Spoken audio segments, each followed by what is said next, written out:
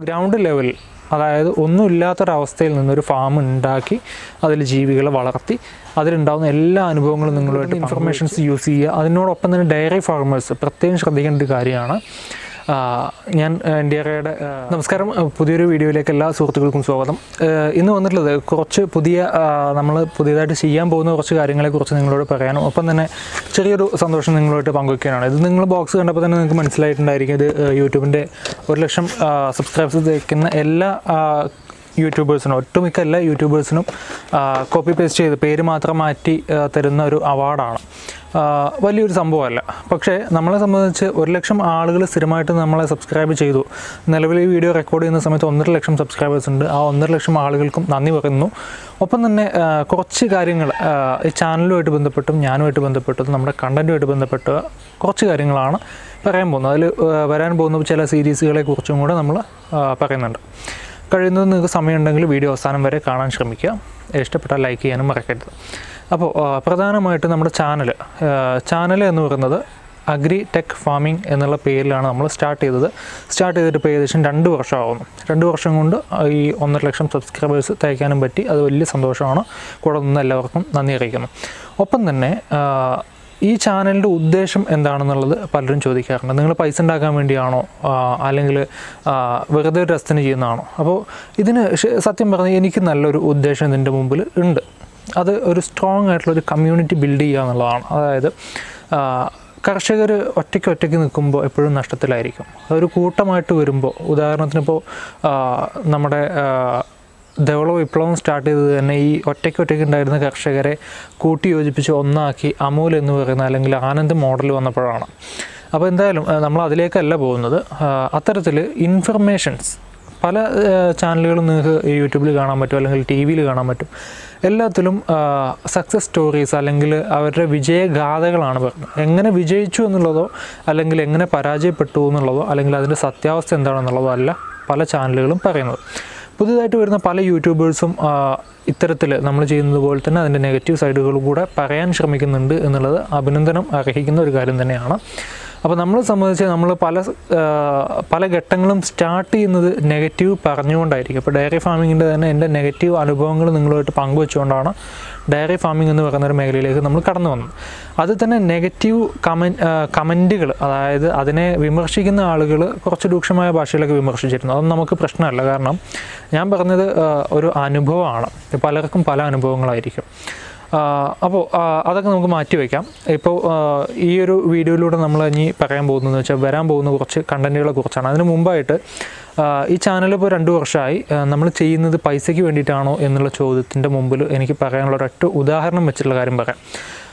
നമ്മൾ രാജസ്ഥാനിൽ പോയിട്ട് അവിടുത്തെ പുഷ്കർ മേള കവർ ചെയ്തു. ഇപ്പോൾ ഈ വീഡിയോ ചെയ്യുന്ന സമയത്ത് ഞാൻ ഇന്ന് ഈ റെക്കോർഡ് ചെയ്യുന്ന ദിവസം ഞാൻ പഞ്ചാബിൽ നിന്ന് തിരിച്ചെത്തിയിട്ടേ ഉള്ളൂ. പഞ്ചാബിലെ അമൃത്സർ മുക്സർ ഹരിയാന ഈ സ്ഥലങ്ങളൊക്കെ കവർ ചെയ്ത് ഞാൻ ഇപ്പോൾ തിരിച്ചെത്തിയിട്ടുള്ളൂ. അതൊന്നും വീഡിയോസ് എടുക്കാൻ വേണ്ടി പോയതല്ല. പഞ്ചാബിൽ പോയതിന് വ്യക്തമായൊരു ഉദ്ദേശം ഉണ്ടായിരുന്നു അത് എന്റെ ബിസിനസ്സുമായിട്ട് ബന്ധപ്പെട്ടതാണ്. ബിസിനസ്സിന്റെ റിസർച്ചുമായി ബന്ധപ്പെട്ടതാണ്. അപ്പോൾ അതുമായി ബന്ധപ്പെട്ട കാര്യത്തിന് വേണ്ടിയാണ് ഞാൻ പോയത്. ആ സമയത്ത് അവിടെ മുക്സാറിൽ കുതിരയുടെ ഒരു മേള നടക്കുന്നുണ്ട്. അത് കവർ ചെയ്തിട്ടുണ്ട്. തീർച്ചയായിട്ടും അതിന്റെ വീഡിയോസ് നിങ്ങളെ കാണിക്കുന്നതായിരിക്കും വരുന്ന ദിവസങ്ങളിൽ. അത് കഴിഞ്ഞ് വന്നത് എൻ ഡി ആർ എയിൽ ഒരു റിസർച്ചുമായിട്ട് ബന്ധപ്പെട്ട കാര്യം സംസാരിക്കാൻ വേണ്ടിയിട്ട് നാഷണൽ ഡയറി റിസർച്ച് ഇൻസ്റ്റിറ്റ്യൂട്ടിൽ പോയിരുന്നു. അവിടെ കുറച്ചധികം ഇൻഫർമേഷൻ നമുക്ക് കളക്ട് ചെയ്യാനും നമ്മുടെ കയ്യിലുള്ള കുറച്ച് കാര്യങ്ങൾ അവരുമായിട്ട് സംസാരിച്ച് ക്ലിയർ ചെയ്യാനും വേണ്ടിയിട്ടാണ് പോയത്. അപ്പോൾ അതിൽ ഒരു വിധം ഒക്കെ നമ്മൾ ഉദ്ദേശിച്ച കാര്യങ്ങൾ നടന്നു. ഗവൺമെന്റ് സ്ഥാപനങ്ങളിൽ ഓടിപ്പോയാലൊന്നും ഒരു കാര്യം നടക്കാൻ പോകുന്നില്ല എന്നുള്ളത് ഒരു സത്യമാണ്. എത്ര വലിയ ഇൻസ്റ്റിറ്റ്യൂട്ട് ആയാലും എത്ര കർഷകനെ സ്നേഹിക്കുന്നു അല്ലെങ്കിൽ സേവിക്കുന്നു എന്നൊക്കെ പറഞ്ഞാലും. അപ്പോൾ എന്തായാലും അവിടുന്ന് നമ്മളൊരു വീഡിയോ റെക്കോർഡ് ചെയ്തിട്ടുണ്ട്. അവിടുത്തെ ഹരിയാനയിലെ കർണാലിലുള്ള എൻ ഡി ആർ എയുടെ റിസർച്ച് യൂണിവേഴ്സിറ്റിയുടെ മുറ ഫാമാണ്. അതും ഇത് വരുന്ന ദിവസങ്ങളിൽ നിങ്ങളുമായിട്ട് പങ്കുവയ്ക്കുന്നതായിരിക്കും അപ്പം തന്നെ ഈ പൈസയ്ക്ക് വേണ്ടിയിട്ടാണോ എന്നുള്ള ചോദ്യത്തിന് പറയാനുള്ള ഉത്തരം ഇതാണ്. ഇത്തരം യാത്രകളൊക്കെ ചെയ്യുമ്പോൾ ഇതിപ്പോൾ ഈ ഒരു പോക്ക് ഞാൻ ബിസിനസ്സുമായി റിലേറ്റഡ് ആയിട്ടുള്ളൊരു പോക്കായിരുന്നെങ്കിൽ കൂടി നമ്മൾ രാജസ്ഥാനിൽ പോയത് പുഷ്കറിൽ പോയത് പൈസ കയ്യിൽ നിന്ന് മുടക്കിയിട്ടായിരുന്നു. പതിനയ്യായിരം രൂപ കയ്യിൽ നിന്ന് മുടക്കിയിട്ടാണ് ആ ഒരു ഫെയർ കാണുക എന്നുള്ള ഒരൊറ്റ ഉദ്ദേശം വെച്ചിട്ട് പോയത്. അപ്പോൾ ആ ഒരു പോക്കിന് പതിനയ്യായിരം രൂപ ചിലവായി. നമ്മുടെ ഒരു യൂട്യൂബിന്റെ ഒരു ഒരു ഒരു റവന്യൂ സോഴ്സ് എന്ന് പറയുന്നത് അതിലെ പരസ്യം മാത്രമാണ്. അതായത് യൂട്യൂബ് ഇടുന്ന ഗൂഗിൾ ആഡ്സൻസ് വഴി ഇടുന്ന പരസ്യം മാത്രമാണ്. ഏകദേശം ഒരു പതിനായിരം ഒരു വീഡിയോ ഇട്ട് കഴിഞ്ഞാൽ ചിലപ്പോൾ അതിന് കിട്ടുന്നത് രണ്ട് ഡോളറൊക്കെ ആയിരിക്കും. എന്റെ ചാനലിന്റെ റവന്യൂ ആണ് ഞാൻ പറഞ്ഞത് പത്തോ പതിനഞ്ചോ മിനിറ്റുള്ള ഒരു വീഡിയോ ഇട്ടാൽ ഒരു രണ്ട് ഡോളറൊക്കെ ആയിരിക്കും അതിന് കിട്ടുന്ന വരുമാനം. സാധാരണഗതിയിൽ നമ്മളൊരു വീഡിയോ മാക്സിമം ആവറേജ് പോകുന്നത് ഒരു ഇരുപതിനായിരം വ്യൂസൊക്കെയാണ് മാക്സിമം ഭൂരിഭാഗം വീഡിയോകളും തൊണ്ണൂറ് ശതമാനം വീഡിയോസ് അത്രയാണ് പോകും അപൂർവം ചില വീഡിയോകളൊക്കെ ഒരു അമ്പതിനായിരം എഴുപതിനായിരം ഒരു ലക്ഷം വരെ പോകാറുണ്ട്.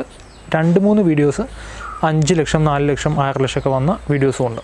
അപ്പോൾ സോഴ്സ് ഓഫ് റവന്യൂ എന്ന് പറയുന്നത് ഒരിക്കലും എന്നെ സംബന്ധിച്ച് യൂട്യൂബ് അല്ല. ഞാനൊരു പ്രൊഫഷണൽ ചാർട്ടേഡ് അക്കൗണ്ടന്റ് ആണ്. അത്യാവശ്യം കാര്യ ഫയൽസൊക്കെ ഹാൻഡിൽ ചെയ്യുന്നൊരു സ്ഥാപനം എനിക്കുണ്ട്. എന്റെ പ്രസൻസ് ഇല്ലെങ്കിൽ കൂടി അതിൽ നിന്ന് എനിക്ക് വരുമാനം വരും. പോരാത്തതിന് ഞാനൊരു ട്രേഡറാണ് ട്രേഡിംഗ് മീൻസ് കൊമോഡിറ്റി ട്രേഡറാണ് അതിന്റെ ഒപ്പം തന്നെ ഒരു കൊമോഡിറ്റി മാർക്കറ്റ് അനലിസ്റ്റും കൂടെയാണ്. അപ്പോൾ എന്നെ സംബന്ധിച്ച് എനിക്ക് സോഴ്സ് ഓഫ് റവന്യൂ എന്ന് പറയുന്നത് ഈ പ്രൊഫഷൻസ് ആണ്. എന്റെ പ്രൊഫഷൻസ് ആണ്. ഇത് എന്റെ ഒരു പാഷനാണ് അല്ലെങ്കിൽ എന്റെ ഒരു സോഷ്യൽ കമ്മിറ്റ്മെന്റ് ആണെന്ന് യൂട്യൂബിനെ കുറിച്ച് ഞാൻ പറയുള്ളൂ. അതായത് ഇപ്പോൾ ഒരു ഉദാഹരണം പറയാം. ഇനി വരാൻ പോകുന്ന ഒരു സീരീസിനെ കുറിച്ചുകൂടെ പറഞ്ഞുകൊണ്ട് ഈ കാര്യം നമുക്ക് മുൻപോട്ട് കൊണ്ടുപോകാം. ഒരു ആട് ഫാമുമായി ബന്ധപ്പെട്ട ഒരു ഡീറ്റെയിൽഡ് വീഡിയോ ചെയ്യണം എന്നുള്ളൊരു ഉദ്ദേശം വെച്ച് ഞാൻ പല ആളുകളെയും സമീപിച്ചു. അപ്പോൾ പല ഫാമുകളിലും പോയി പലരുമായിട്ടും സംസാരിച്ചു. പക്ഷേ അത് വീഡിയോ എടുത്തെങ്കിൽ കൂടി പബ്ലിഷ് ചെയ്യാൻ പറ്റുന്ന ഒരു കണ്ടീഷനിലല്ല വീഡിയോസ് ഒന്നും കിട്ടിയത്. കാരണം എന്നെ സംബന്ധിച്ച് എനിക്ക് എല്ലാത്തിനും ഞാൻ ചെയ്യുന്നൊരു വീഡിയോ എന്ന് പറയുന്നത് ഒരു തരത്തിലൊരു റിസർച്ചാണ് ആ കർഷകനും അയാളുടെ കൃഷിയും എങ്ങനെ എന്നുള്ള ഒരു റിസർച്ചാണ് നടത്തുന്നത്. അതിൽ ഒരുപാട് ക്വസ്റ്റ്യൻസ് ഉണ്ടായിരിക്കും നമ്മളെ സംബന്ധിച്ച്. അത് ഈ വീഡിയോ കാണാൻ നിങ്ങൾക്കും ആ സംശയങ്ങൾ ഉണ്ടായിരിക്കും. ആ സംശയങ്ങൾക്കുള്ള ഉത്തരം പല വീഡിയോസിലും പലർക്കും തരാൻ പറ്റാറില്ല. അതായത് ഇപ്പോൾ ആട് കൃഷിയിലേക്ക് എടുത്തു കഴിഞ്ഞാൽ എങ്ങനെയാണ് അവരുടെ ബിസിനസ് മോഡ്യൂൾ അതിന് പ്രത്യേകിച്ച് ഒരു ഉത്തരം ആർക്കും ഇന്നുവരെ തരാൻ പറ്റിയിട്ടില്ല. പോരാത്തന്നെ രണ്ടാമത്തെ ഒരു ചോദ്യം എന്ന് പറഞ്ഞാൽ എത്ര കിലോ ഫീഡ് നിങ്ങളൊരു ആടിനെ വിൽക്കാനാവുമ്പോഴത്തേക്ക്? അതിപ്പോൾ മുട്ടനാടാണെങ്കിൽ അത് ജനിച്ചു. അതിനെ സ്ലോട്ട് ചെയ്യുക അരക്കാൻ വേണ്ടിയിട്ട് നമ്മൾ കൊടുക്കുന്ന സമയത്തേക്ക് എത്ര കിലോ ഫീഡ് അതിന് വേണ്ടിയിട്ട് ചിലവഴിച്ചു എന്ന് ചോദിച്ചാൽ അതിനും കൃത്യമായിട്ടൊരു ഉത്തരമല്ല. രണ്ടാമതൊരു കാര്യം ഒരു ആട് ഇപ്പോൾ നിങ്ങളുടെ കയ്യിൽ നിൽക്കുന്ന ഈ നിൽക്കുന്ന ഒരു ആട് എന്ന് പറഞ്ഞിട്ട് അതിനെ കാണിച്ച് ഈ ആടിന് നിങ്ങൾ എത്ര കിലോ തീറ്റ കൊടുക്കുന്നുണ്ടെന്ന് ചോദിച്ചാൽ അല്ലെങ്കിൽ എത്ര ഗ്രാം തീറ്റ കൊടുക്കുന്നുണ്ടെന്ന് ചോദിച്ചാൽ അതിനും വ്യക്തമായൊരു ഉത്തരമല്ല. ഒരു ഇത്ര തീറ്റ കൊടുക്കുന്നുണ്ടാവും. റിസർച്ച് നമ്മളെ സംബന്ധിച്ച് അക്യുറേറ്റ് ആയിട്ടുള്ള കണക്കുകൾ വേണം.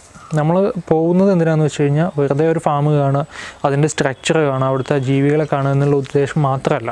നമുക്കതിന്റെ ഇൻഫർമേഷൻ എങ്ങനെ ഇവർ ലാഭത്തിലാവുന്നു അല്ലെങ്കിൽ എന്തുകൊണ്ട് ഇവർ നഷ്ടത്തിൽ പോയി അതിനെക്കുറിച്ചുള്ള ഒരു സ്റ്റഡിയാണ് നമ്മൾ നടത്തിക്കൊണ്ടിരിക്കുന്നത്. അപ്പോൾ ഇൻഫർമേഷൻസ് ആവശ്യമാണ്. അപ്പോൾ അത്ര ഇൻഫർമേഷൻസ് ഉള്ള ഫാമുകൾ കേരളത്തിൽ നിലവിൽ എനിക്ക് കണ്ടെത്താൻ കഴിഞ്ഞില്ല. അത് ചിലപ്പോൾ ഒരു പക്ഷേ എന്റെ കഴിവ് കുറവ് കൊണ്ടായിരിക്കാം അല്ലെങ്കിൽ അങ്ങനെയുള്ള ആളുകളില്ല എന്ന് വേണമെങ്കിൽ നമുക്ക് പറയാം. അപ്പോൾ ഇനി ആരെങ്കിലും അങ്ങനെ നിങ്ങളുടെ പരിചയത്തിലോ അല്ലെങ്കിൽ നിങ്ങൾക്ക് അറിയുന്ന ആൾക്കാരോ അല്ലെങ്കിൽ നിങ്ങൾ തന്നെ ഒരു അത്തരത്തിൽ കൃത്യമായ ഡാറ്റ കീപ്പ് ചെയ്യുന്ന ഒരു ഫാമാണ് നടത്തുന്നതെങ്കിൽ തീർച്ചയായിട്ടും താഴെ നിങ്ങളുടെ വാട്സാപ്പ് നമ്പർ കമന്റ് ചെയ്യുക. അല്ലെങ്കിൽ എന്റെ വാട്സാപ്പ് നമ്പറിന്റെ ലിങ്ക് ഡിസ്ക്രിപ്ഷൻ ബോക്സിലുണ്ട് അതുവഴി നിങ്ങൾക്ക് എന്നെ കോൺടാക്ട് ചെയ്യാം. തീർച്ചയായിട്ടും ഞാൻ വന്ന് നിങ്ങളെ കണ്ട് വിശദമായ നിങ്ങളുടെ കാര്യങ്ങൾ ചോദിച്ചറിഞ്ഞൊരു വീഡിയോ ആക്കി ജനങ്ങളിലേക്ക് എത്തിക്കുന്നതുമായിരിക്കും അപ്പോൾ ഇനി വരാൻ പോകുന്നൊരു ആണ്. അതായത് അപ്പോൾ ഈ പറഞ്ഞൊരു പ്രശ്നം ഉള്ളതുകൊണ്ട് തന്നെ വ്യക്തമായ കണക്കുകൾ നിങ്ങളിലേക്ക് എത്തിക്കാൻ ഞാൻ കണ്ടൊരു മാർഗം എന്ന് പറയുന്നത് എന്റെ സ്റ്റഡീസിന്റെ റിപ്പോർട്ട് നിങ്ങളെ കാണിക്കുക എന്നുള്ളതാണ്. അപ്പോൾ ഞാൻ മുമ്പ് ചെയ്ത സ്റ്റഡീസിന്റെ റിപ്പോർട്ട് നിങ്ങളെ കാണിക്കുന്നതിലേറെ ഏറ്റവും ബെസ്റ്റ് ഒരു ഗ്രൗണ്ട് ലെവലിൽ അതായത് ഒന്നുമില്ലാത്തൊരവസ്ഥയിൽ നിന്നൊരു ഫാം ഉണ്ടാക്കി അതിൽ ജീവികളെ വളർത്തി അതിലുണ്ടാകുന്ന എല്ലാ അനുഭവങ്ങളും നിങ്ങളുമായിട്ട് പങ്കുവെച്ച് അതിന്റെ ആക്ച്വലായിട്ടുള്ള അവസ്ഥ ലൈവായിട്ട് നിങ്ങളെ കാണിച്ചു തരിക എന്നുള്ളതാണ്. ഏറ്റവും ബെസ്റ്റ് റിസൾട്ട് കിട്ടാൻ സാധ്യതയുള്ളൊരു ഒരു മെത്തേഡ് അതായിരിക്കും എന്നാണ് ഞാൻ വിചാരിക്കുന്നത്. കുറച്ച് എക്സ്പെൻസീവ് ആയിട്ടുള്ള ഒരു എക്സ്പെരിമെന്റ് ആണ്. ഏകദേശം ഒരു ഒരു ലക്ഷം രൂപയോളം ചിലവ് വരാൻ സാധ്യതയുള്ള ഒരു എക്സ്പെ എക്സ്പെരിമെന്റ് ആണ്. പക്ഷേ നമ്മളെ സംബന്ധിച്ച് അത് വിഷയമല്ല. നമുക്ക് ആവശ്യം ഇൻഫർമേഷനാണ് ഈ ഒരു വീഡിയോ കണ്ടിട്ട് അതായത് ഞാൻ നമ്മൾ ഈ ചെയ്യാൻ പോകുന്ന ഒരു സീരീസ് വീഡിയോ കണ്ടിട്ട് നിങ്ങൾ ആർക്കെങ്കിലും ഒരാൾക്കൊരു ജീവിതമാർഗം കേരളത്തിൽ ഉണ്ടാക്കാൻ പറ്റിയാൽ അത് എന്റെ ഒരു സക്സസ് ആയിട്ട് ഞാൻ കണക്കാക്കും. അതാണ് എനിക്ക് ഈ ഇരിക്കുന്ന ഈ ക്രിയേറ്റർ അവാർഡിനേക്കാൾ വലിയൊരു അവാർഡായിട്ട് കണക്കാക്കാൻ പറ്റും അപ്പോൾ പറഞ്ഞു വന്നത് ഇതാണ്. അപ്പോൾ അത്തരത്തിലുള്ള പല പ്രശ്നങ്ങളും നമ്മൾ ഫേസ് ചെയ്യുന്നുണ്ട്. പൈസ ഫോക്കസ് ചെയ്താണ്. അല്ലെങ്കിൽ ഈ യൂട്യൂബിന്റെ റവന്യൂ ഫോക്കസ് ചെയ്താണ് നമ്മൾ ഇതിനു വേണ്ടി വർക്ക് ചെയ്യുന്നതെങ്കിൽ നിങ്ങൾ അറിയേണ്ട ഒരു പ്രധാനപ്പെട്ട ഒരു കാര്യം എന്ന് പറഞ്ഞാൽ പല ചാനലുകളുടെയും മോണോട്ടൈസേഷൻ അതായത് വരുമാനം കിട്ടണമെങ്കിൽ പരസ്യം കാണിക്കണം പരസ്യം കാണിക്കണമെങ്കിൽ മോണോട്ടൈസേഷൻ ഇനേബിൾ ചെയ്തിരിക്കണം. ആ ഇനേബിൾ ചെയ്തിരുന്ന പല ചാനലുകളുടെയും മോണോട്ടൈസേഷൻ ഡിസേബിൾ ചെയ്ത് വെച്ചിട്ടുണ്ട് യൂട്യൂബ് പല വീഡിയോസിലും ഇത് അഡ്വർടൈസ്മെന്റ് ഫ്രണ്ട്ലി അല്ല. പ്രത്യേകിച്ച് നമ്മൾ ജീവികളുമായിട്ട് ബന്ധപ്പെടുന്ന കണ്ടന്റ് കിട്ടുന്ന ആൾക്കാരാണ്. അപ്പോൾ അതിൽ തന്നെ പലതും ഒരു ആടിന്റെ ബാക്ക് കാണിച്ചു അല്ലെങ്കിൽ ഒരു പയ്യന്റെ ബാക്ക് കാണിച്ചു. അത് വൾഗറായിട്ടുള്ള ഒരു ഒരു ഷോട്ടായിരുന്നു അതുകൊണ്ട് അതിന് അഡ്വർടൈസ്മെന്റ് ഫ്രണ്ട്ലി അല്ലാത്തതുകൊണ്ട് പരസ്യം കാണിക്കാൻ പറ്റില്ല. അതുകൊണ്ട് അതിന് പരസ്യമില്ല വരുമാനമില്ല പരസ്യം ഇല്ലെങ്കിൽ വരുമാനമില്ല അതാണ് സത്യം.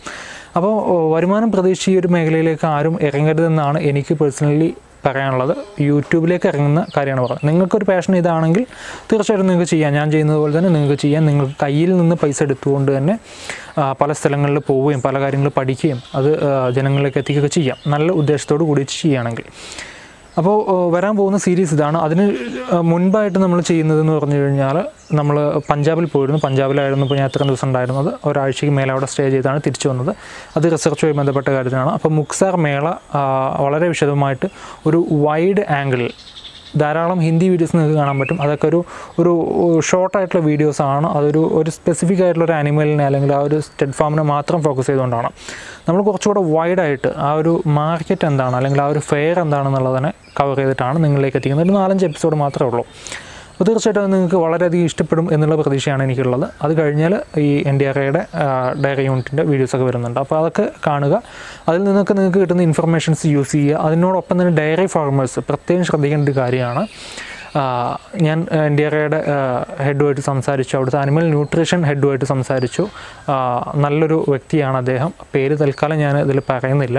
കാരണം അവർക്ക് ഇത്തരം കാര്യങ്ങൾക്കൊക്കെ ചില ലിമിറ്റേഷൻസ് ഉണ്ട്. അപ്പോൾ അദ്ദേഹം പറയുന്നത് എന്താണെന്ന് വെച്ചാൽ നമ്മുടെ കയ്യിൽ നല്ല അനിമൽസൊക്കെ ഉണ്ട്. കേരളത്തിൽ നല്ല അനിമൽസൊക്കെ ഉണ്ട്. മറ്റ് സംസ്ഥാനങ്ങളിലും ഉണ്ട്. അപ്പോൾ ഇപ്പോൾ വരുന്ന പ്രശ്നം എന്താണെന്ന് വെച്ചാൽ നമ്മളെ സംബന്ധിച്ച് നമ്മൾ ഏത് ജീവിയെ കൊണ്ടുവന്നു കഴിഞ്ഞാലും ഇപ്പോൾ അതൊരു ആടായിക്കോട്ടെ മുയലായിക്കോട്ടെ കോഴി ആയിക്കോട്ടെ എന്ത് തന്നെ ആയിക്കോട്ടെ അതിനൊക്കെ നമ്മൾ പാക്കറ്റ് ഫീഡ് വാ റെഡിമെയ്ഡ് ഫുഡ് വാങ്ങിച്ചാണ് കൊടുക്കുന്നത്. അതായത് പെല്ലറ്റ് ആയിട്ടുള്ള രൂപത്തിൽ അല്ലെങ്കിൽ മേശമായിട്ടുള്ള രൂപത്തിലാണ് വാങ്ങിച്ചു കൊടുക്കുന്നത്. ഈ വരുന്ന സാധനത്തിന്റെ ഉള്ളിലുള്ള പ്രോട്ടീൻ കണ്ടന്റ് എത്രയാണ്? അല്ലെങ്കിൽ അതിലുള്ള എനർജി എത്രയാണ്? ഫാറ്റ് എത്രയാണ്? ഇതിനെക്കുറിച്ച് നമുക്ക് യാതൊരു അറിവുമില്ല.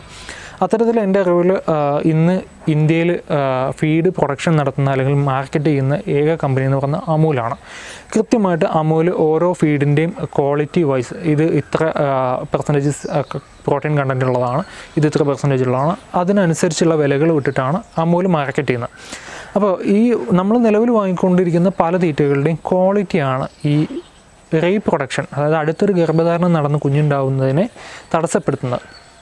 ഗർഭപാത്രം ചുരുങ്ങിപ്പോകുന്നതാണ് കൂടുതലും നമ്മൾ പല ഡയറി ഫാമുകളിലും കാണുന്നൊരു പ്രശ്നം. അതായത് പ്രസവിച്ച പശുവിന്റെ രണ്ട് മാസം കഴിഞ്ഞ് കുത്തിവെക്കാൻ നോക്കുമ്പോൾ അതിന്റെ ഗർഭപാത്രം സാധാരണ ഉണ്ടാവേണ്ടതിലും കുറഞ്ഞ സൈസിലായിരിക്കും ഉണ്ടായിരിക്കുക. അപ്പോൾ അതിൽ കൺസീവിങ് റേറ്റ് താരതമ്യേന കുറവായിരിക്കും.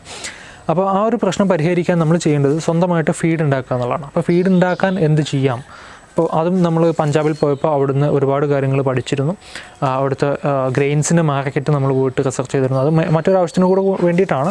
എങ്കിൽ കൂടി ഇത് നമ്മൾ റിസർച്ച് ചെയ്തിരുന്നു. ഏകദേശം ഒരു ഇരുപത് രൂപയ്ക്ക് നമുക്ക് നല്ല ക്വാളിറ്റിയുള്ള ഇരുപത് ശതമാനത്തിന് മേലെ പ്രോട്ടീൻ കണ്ടന്റുള്ള ഫീഡ് ഉണ്ടാക്കാൻ പറ്റും. നമ്മൾ വാങ്ങിക്കുന്ന പല ഫീഡുകളും പതിനാറ് ശതമാനമാണ്. നാല് ശതമാനം വലിയൊരു ഡിഫറൻസ് ആണോ എന്ന് ചോദിച്ചാൽ ഫോർ ആൻ ആനിമൽ അത് വലിയൊരു വ്യത്യാസം തന്നെയാണ്. അപ്പോൾ അതും നമ്മൾ ശ്രദ്ധിക്കണം. അതുപോലെ തന്നെ പൗൾട്രിയിലെ ഏറ്റവും വലിയ കൺസൾട്ടന്റായ ഗന്ന സാറിനെ കാണാൻ പറ്റി. അദ്ദേഹമായിട്ട് സംസാരിച്ചു. പൗൾട്രിയിൽ നമുക്ക് വലിയ വലിയ മാറ്റങ്ങൾ വരും കാലങ്ങളിൽ പ്രതീക്ഷിക്കാൻ പറ്റും. കേരളത്തിൽ നിലവിൽ പൗൾട്രി എന്ന് പറയുന്നൊരു മേഖല പരാജയപ്പെട്ട് നിൽക്കുന്ന ഒരു അവസ്ഥയാണ്. ലാസ്റ്റ് നമ്മൾ ചെയ്തിരുന്നത് അതിനെക്കുറിച്ച് തന്നെയാണ്. ഈ കോഴി അല്ലെങ്കിൽ താറാവ് വളർത്തുന്ന കർഷകർ ദയവായിട്ട് ശ്രദ്ധിക്കുക എന്ന് പറഞ്ഞൊരു വീഡിയോ ഇട്ടിട്ടാണ് നമ്മൾ ആ ഒരു ഒരു സെക്ഷൻ അവസാനിപ്പിച്ചത്. അത് ഇട്ടപ്പോൾ പലരും കുറ്റം പറഞ്ഞിരുന്നെങ്കിൽ കൂടി കുറച്ച് ആഴ്ചകളും അല്ലെങ്കിൽ മാസങ്ങൾ കഴിഞ്ഞപ്പോൾ പല ആളുകളും നിങ്ങൾ പറഞ്ഞത് ശരിയാണെന്ന് പറഞ്ഞു വന്നിരുന്നു. അപ്പോൾ അത്തരത്തിൽ ഒരുപാട് ഉപയോഗങ്ങൾ നിങ്ങൾക്ക് ഈ ചാനൽ വഴി ഉണ്ടാവും. എന്തായാലും വരുന്ന വീഡിയോസ് കാണാം ഈ വീഡിയോ ഇതുവരെ കണ്ടതിന് എല്ലാവർക്കും നന്ദി അറിയുന്നു. താങ്ക്സ്